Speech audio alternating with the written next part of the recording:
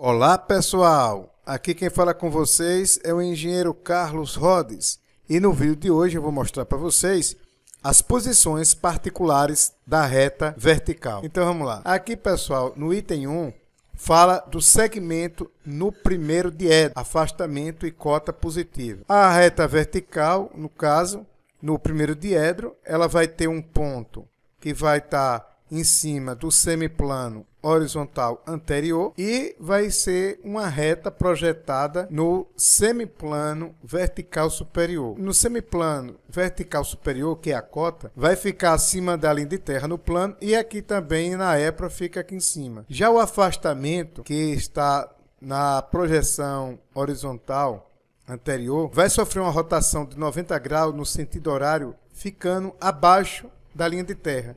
Então aqui também na épora fica abaixo da linha de terra, no caso, o afastamento. No item 2, o segmento no segundo diédro, você vai ter aí afastamento negativo e cota positiva. Então, a cota, no caso, positiva, é uma reta, no caso, que vai ficar acima da linha de terra. Aqui também ó, vai ficar acima da linha de terra. Já o afastamento vai sofrer uma rotação de 90 graus no sentido horário. Nesse caso, o afastamento é um ponto no semiplano posterior horizontal. Ao ser rebatido, esse ponto vai ficar também em cima da linha de terra aqui na época. Item 3 segmento no terceiro diedro. Então, no terceiro diedro, você vai ter afastamento e cota negativa. A cota, no caso, vai ser uma reta né, abaixo da linha de terra. Aqui também na época, ó, uma reta abaixo da linha de terra. E o afastamento vai ser um ponto, né,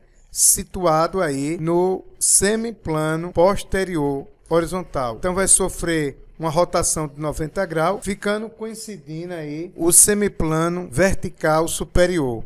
Então vai ficar acima da linha de terra e aqui na época o afastamento também ficou acima do linha de terra. No item 4, o segmento no quarto diedro, né? Afastamento positivo e cota negativa. Então, a cota vai ser uma reta, no caso, né? Abaixo da linha de terra. Então, na época também, essa reta fica abaixo da linha de terra. Já o afastamento vai ser um ponto que vai ficar na projeção horizontal anterior, mas aí, como já falei, o afastamento sofre uma rotação de 90 graus no sentido horário, então ele vai descer e vai ficar coincidindo, né, com o semiplano vertical inferior, logo abaixo da linha de terra. E na época também o ponto fica abaixo da linha de terra. Item 5. No plano vertical, pi linha, afastamento nulo. Então, nesse caso, você vai ter aqui uma reta, né? Onde, como ele já fala, falou aqui, se o afastamento ele é nulo, então a projeção vai ser exatamente em cima da linha de terra, no, no plano. E aqui na época, a mesma coisa, aqui o pontinho. No caso, a cota, né?